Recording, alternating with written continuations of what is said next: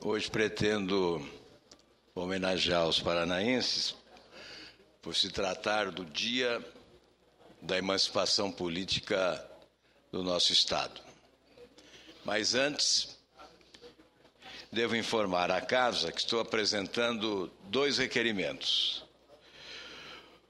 Um deles diz respeito ao, ao vazamento das questões do Exame Nacional do Ensino Médio, o Enem as indagações são as seguintes: ao anular as provas somente para os alunos do Colégio Cristos do Ceará, o MEC não ofereceu uma solução local para o que pode ser um problema nacional?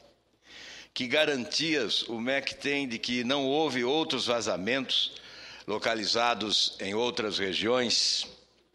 O MEC não avalia que deveria cancelar todas as provas em respeito ao princípio da isonomia, as universidades que usarem o Enem 2011 como um dos critérios de pontuação não estariam também se expondo a essa fraude?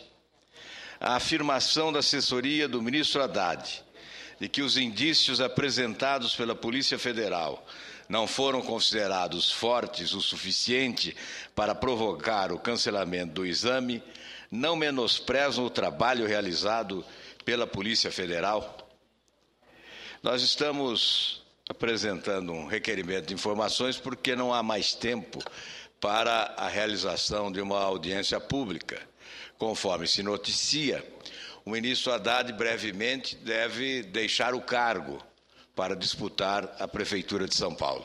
Por essa razão, estamos encaminhando um pedido de informações Espero que a assessoria parlamentar do Ministério da Educação encaminhe já extraoficialmente ao ministro para que ele possa, antes de deixar a função, responder ao Senado Federal e aos brasileiros. A imprensa noticiou recentemente que, mais uma vez, houve vazamento de questões do Enem.